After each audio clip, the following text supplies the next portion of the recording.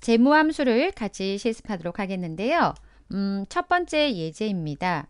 앞으로 1년 동안, 앞으로 1년 동안, 음, 연이율 6%인 적금 예금에 매월 30만 원씩 적립하려고 할 때 1년 후에 찾게 되는 금액이 얼마인지를 C7셀에다가 계산하라고 아, 값을 구해서 표시하라고 되어 있습니다.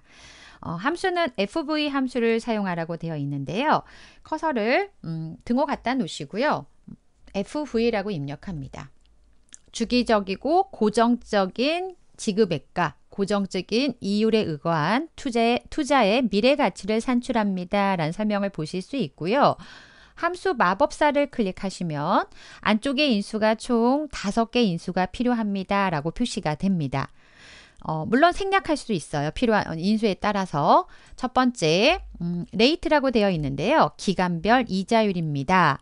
예를 들어, 연이율 6%의 분기 지급 시에는 어, 분기라고 하면 1, 4분기, 2, 4분기, 3, 4분기니까 6% 나, 6% 나누기 4라고 하는 입력하면 됩니다. 라고 예시가 나와 있죠.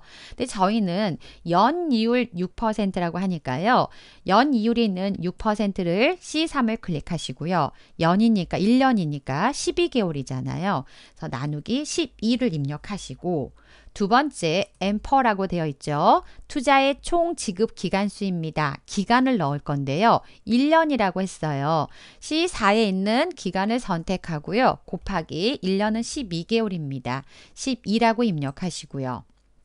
세 번째 PMT는 어, 각 기간마다의 지급액입니다. 이거는 투자 기간 동안 변할 수 없습니다. 라고 되어 있어요. 저희는 매월 매월 30만 원씩 불입한다고 했어요.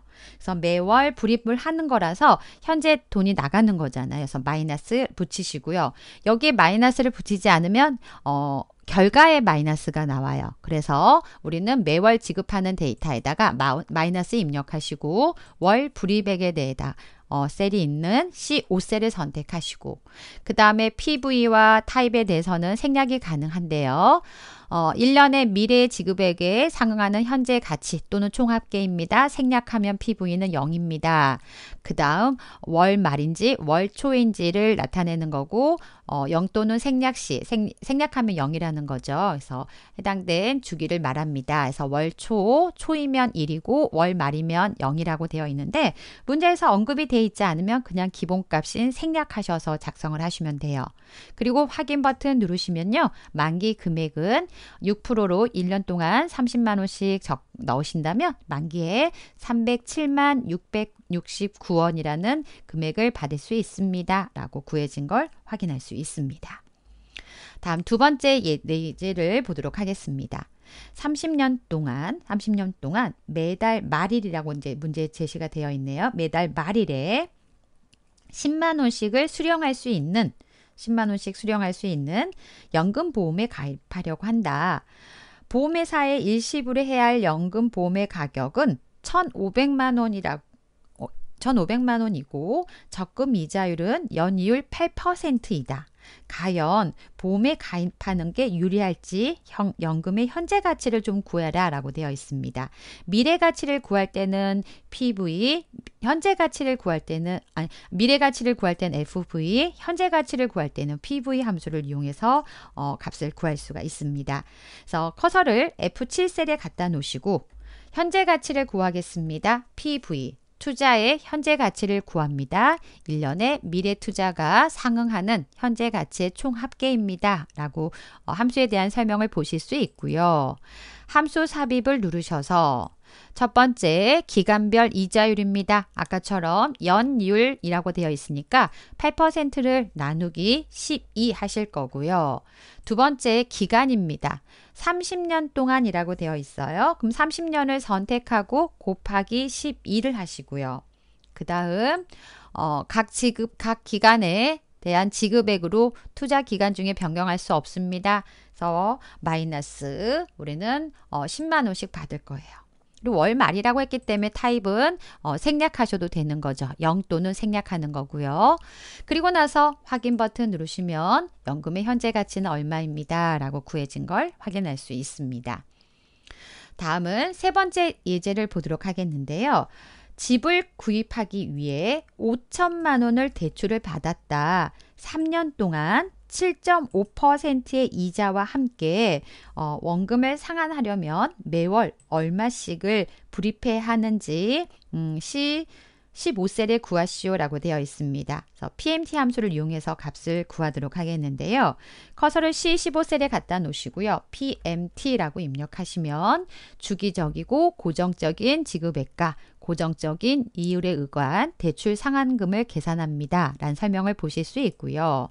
함수 삽입을 누르셔서 첫 번째 rate 이자율은 7.5%인데 연이니까 나누기 12 기간은 3년인데 3년이 있는 C12셀 곱하기 어, 12 1년은 12개월이니까. 그 다음 PV 1년의 미래 지급액에 상응하는 현재 가치입니다. 저희는 현재 5천만 원을 가져왔잖아요. 대출을 받아서 마이너스 5천만 원을 선택하시고요.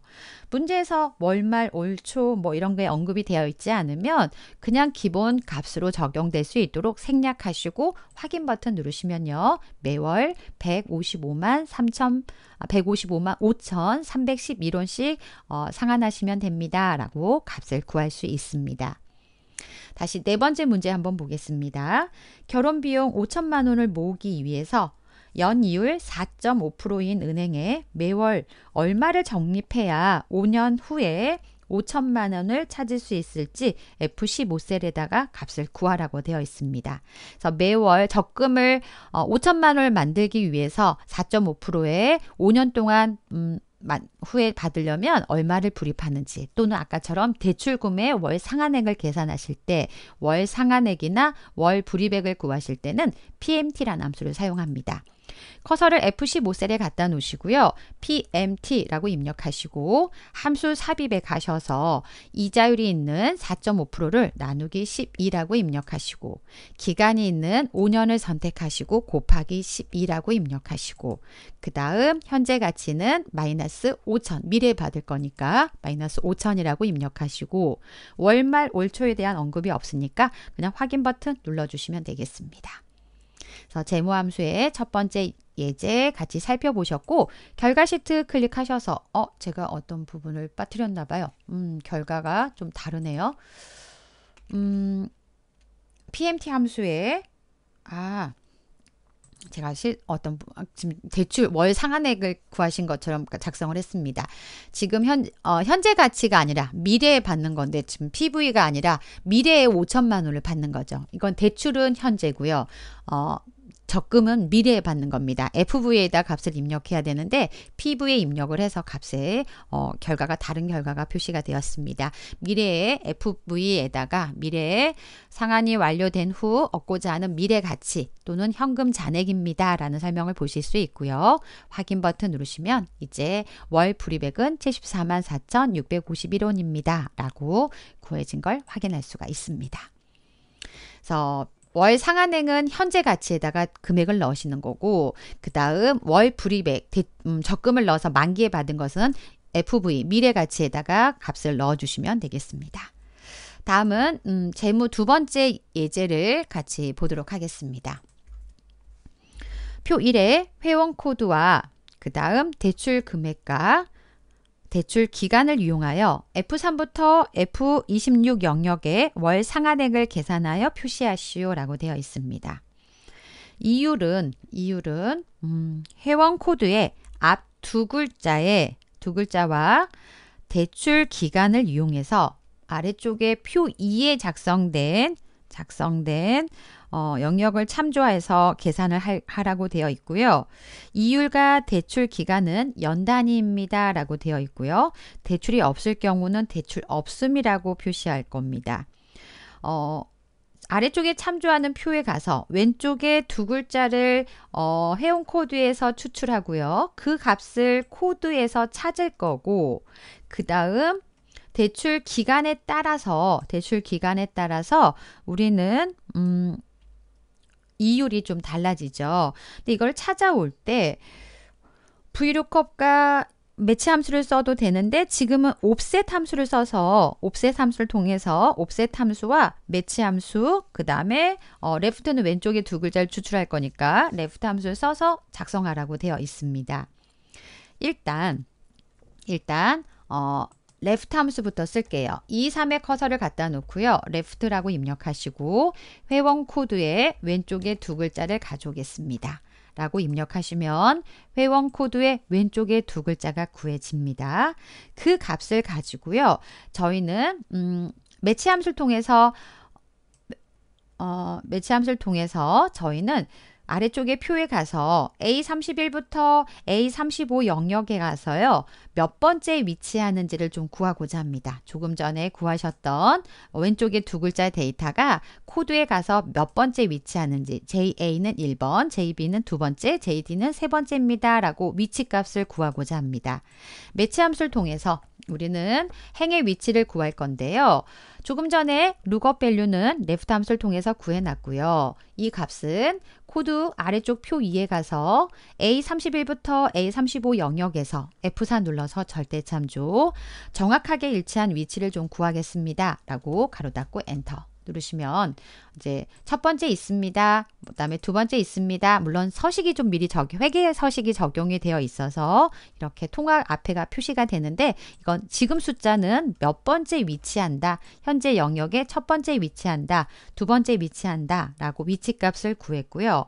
이제 어, 옵셋 함수를 통해서 우리는 기준을 기준을 B30셀로 기준으로 했을 때 B30을 기준으로 했을 때 JA는 아래로 한 칸을 내려올 거예요. 그럼 조금 전에 구하신 1이란 만큼 한 칸을 내려올 거고요.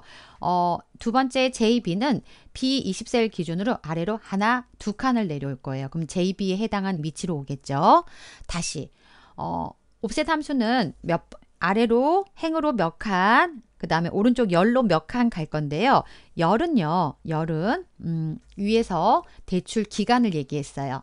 대출 기간은, 어, 현재 기간이 3년이라고 했잖아요. 그래서 3년이니까 오른쪽으로 3칸 가겠습니다. 하나, 둘, 셋 이렇게 간다는 거죠.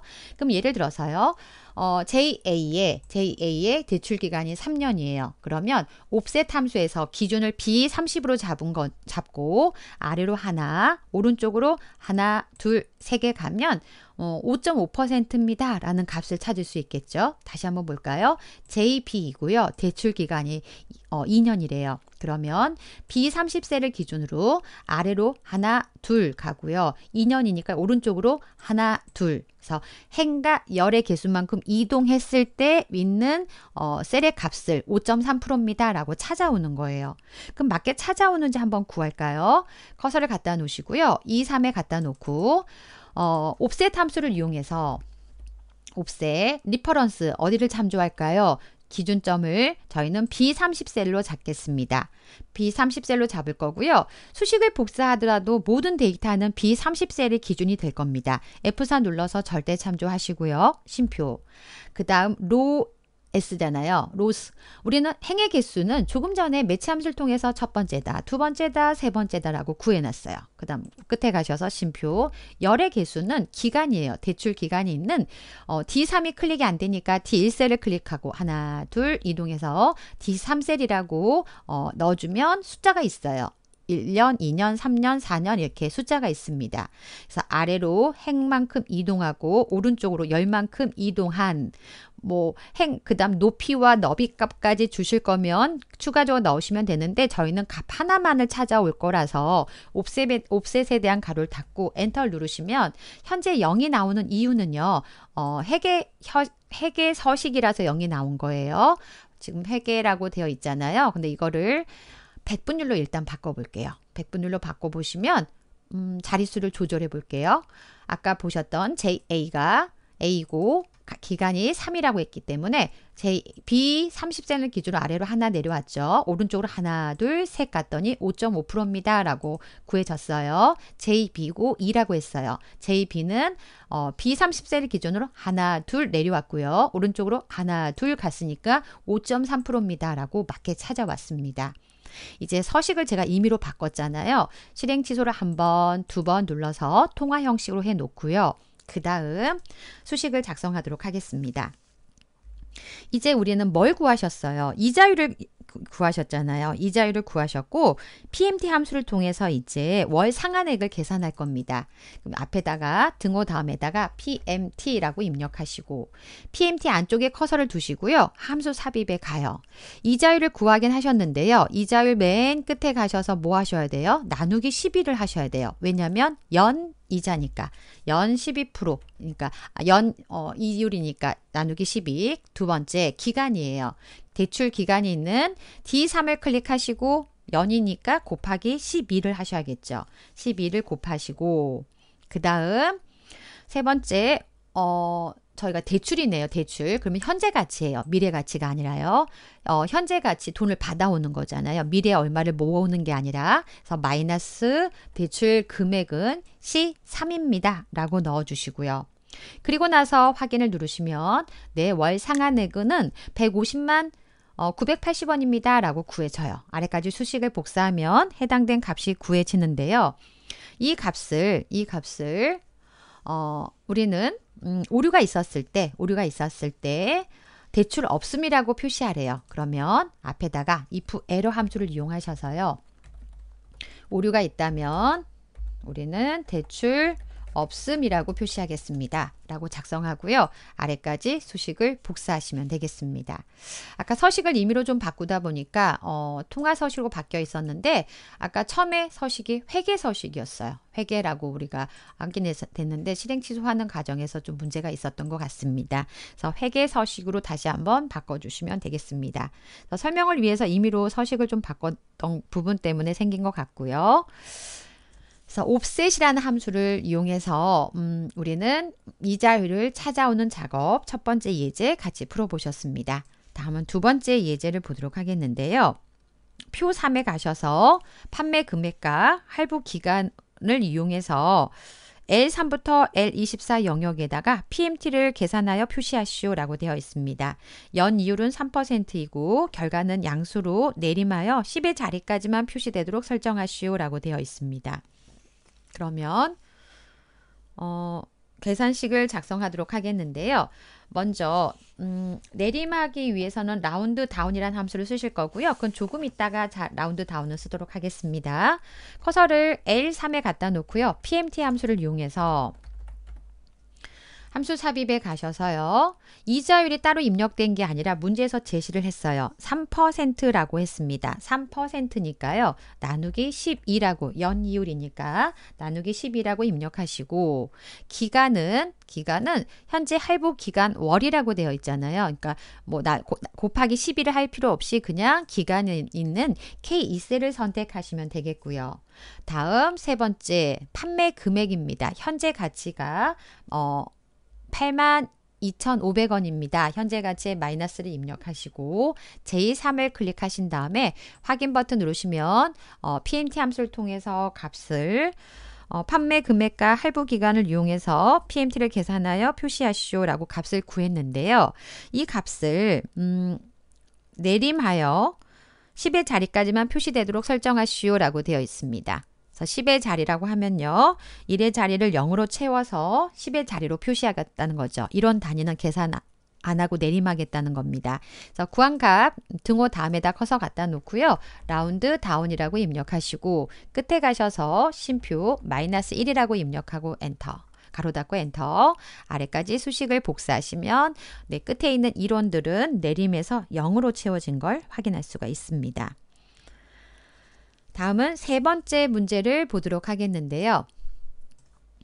세 번째 문제는 표4에 대출 금액과 대출 기간과 이율을 이용하여 월 상환액을 계산하여 표시하시오라고 되어 있습니다.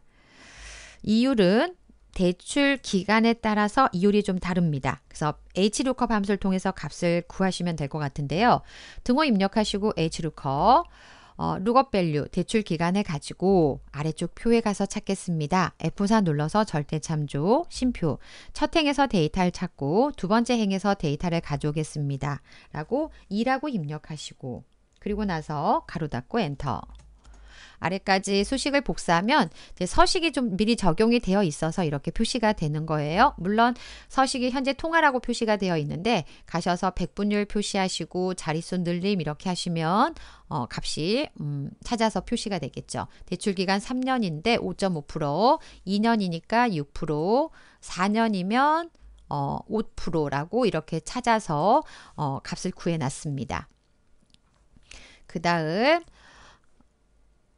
네, 그, 이제는 월 상한액을 계산하도록 하겠는데요. 등호 다음에 커서를 갖다 놓고요. PMT라고 입력하시고 PMT 안쪽에 커서를 갖다 놓으신 다음에 첫 번째 이자율은 연이니까 끝에 가셔서 나누기 12를 하실 거고요. 그 다음 기간은 대출 기간에다가 5 3셀에다가 곱하기 12를 하실 거고요. 대출을 하셨기 때문에 현재 가치에서 마이너스 대출 금액이 있는 P3을 선택하고 확인 버튼 누르시면 월 상한액이 구해지는 걸 확인할 수가 있습니다. 세 번째 문제 살펴보셨고 다음 네 번째 문제를 보도록 하겠습니다. 네 번째에서는 연 이율과 기간과 월 납입액을 이용하여 현재 가치를 계산해서 표시하시오라고 되어 있습니다.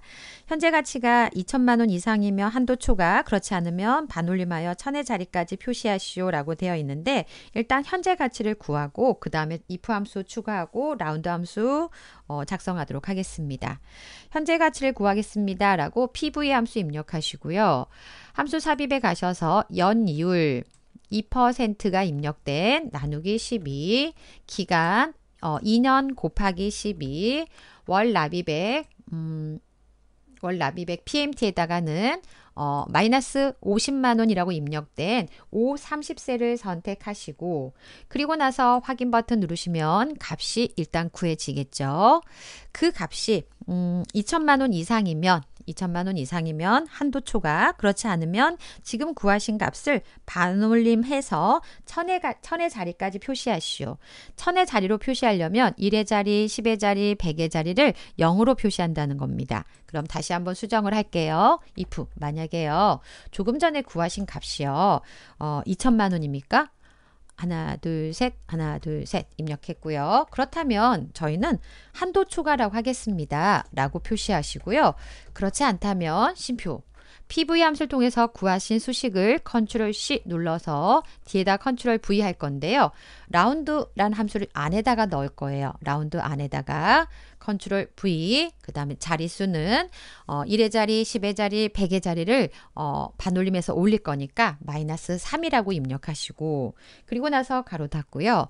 어, 라운드에 대한 가로를 닫으신 거고요. if에 대한 가로를 다시 한번 닫아주셔서 가로가 검정색으로 처리가 될 수 있도록 작성하신 다음 엔터 눌러주시고 그리고 나서 수식을 다시 한번 복사해 주시면 네, 조건에 따라서 한도 초과 그 다음에 어, 조건에 만족하지 않은 데이터는 어, 반올림을 해서 결과가 표시된 걸 확인할 수가 있습니다. 그래서 실습하시고 나서 음, 결과 시트 클릭하셔갖고요. 혹시나 또 실수할 수 있잖아요. 그 부분을 찾을 수 있도록 어, 문제와 어, 결과 시트 클릭하셔서 확인해 주시면 되겠습니다. 그래서 재무함수 같이 살펴보셨습니다.